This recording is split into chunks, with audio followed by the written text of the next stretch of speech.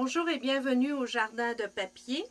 Aujourd'hui, dans cet atelier, je vais vous donner un petit truc pour euh, utiliser euh, la perforatrice pensée et son jeu d'étampes assorti Flower Shop. dont vous avez six jolies fleurs qu'on peut toutes découper avec euh, cette perforatrice.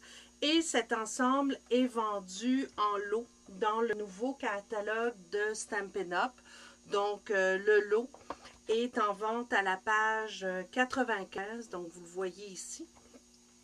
Et c'est le lot Éclosion des pensées. Donc, euh, si vous prenez le lot à montage clair, il est offert à 37,25 et ça comprend euh, la perforatrice et le jeu d'estampes.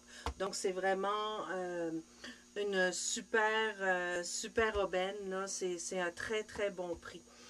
Donc, pour commencer, ce qu'on fait avec euh, ce petit truc-là, c'est que je commence par euh, découper ma euh, perforatrice, donc ma fleur, pardon, avec la perforatrice.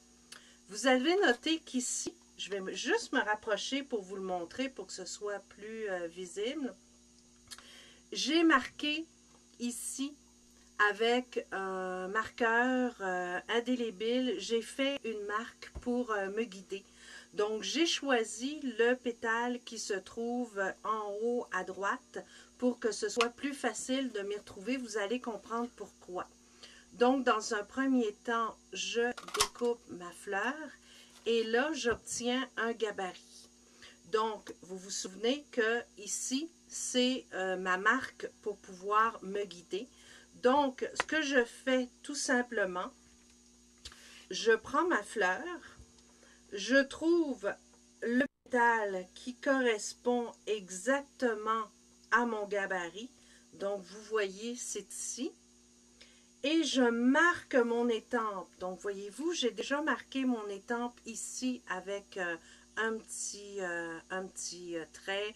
Vous pouvez mettre un petit point comme j'ai mis là et je le marque au même endroit à l'envers. Ce qui fait que quand vous placez votre étampe sur votre bloc acrylique, vous le placez de cette façon-là pour que ce soit le même sens que ma perforatrice, pour que ce soit au même endroit. Ce qui vous reste à faire, c'est votre étampage. Vous allez voir, c'est vraiment très simple. Ça vous évite de chercher où est-ce que c'est, où est la bonne forme, etc. Oups, donc je l'appuie très très fort pour que ça tienne bien. Je l'étampe avec du riche raisin qui est revenu cette année. J'adore ce beau petit verre. Je l'étampe comme ça avec la marque en haut à droite ma fleur est étampée, je prends ma perforatrice, j'aligne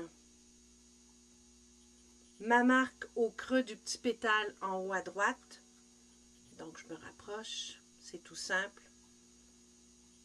Vous l'alignez comme ça. Et voyez-vous, ça tombe tout de suite parfaitement bien. Donc, je n'ai pas à chercher euh, et à trouver euh, l'endroit pour le bon pétale. Et je perfore et vous avez des fleurs parfaites à tous les coups.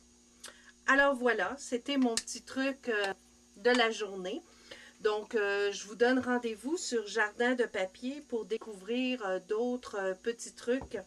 Et si vous voulez commander des produits Stampin' Up, c'est l'endroit idéal.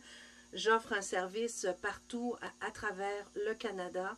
Donc, euh, ça vous permet d'acheter des produits Stampin' Up, mais aussi d'avoir euh, les conseils, des trucs et des astuces pour vous guider dans vos créations, mais aussi euh, dans, dans, vos achats. Donc, merci de votre visite et à très bientôt.